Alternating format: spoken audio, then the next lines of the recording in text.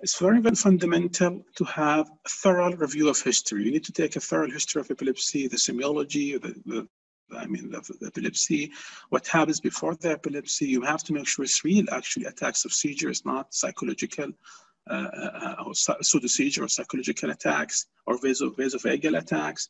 You need to have imaging of the brain.